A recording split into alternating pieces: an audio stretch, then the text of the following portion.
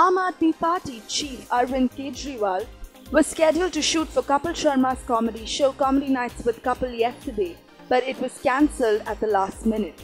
Reason cited for this is that the Election Commission bans political leaders from promoting their parties and its ideologies on any public platform 48 hours before polls. And with Delhi going to polls today, Kejriwal's appearance on the TV show would have been a violation of the rules. A source close to the Sharma family says, It was mutually cancelled as we didn't want to violate any rules.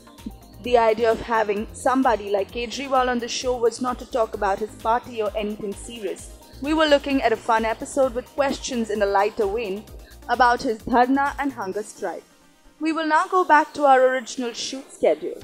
Looks like the country missed a chance for a hilarious episode. After all, who wouldn't want to see the most slack leader of the country's funny side?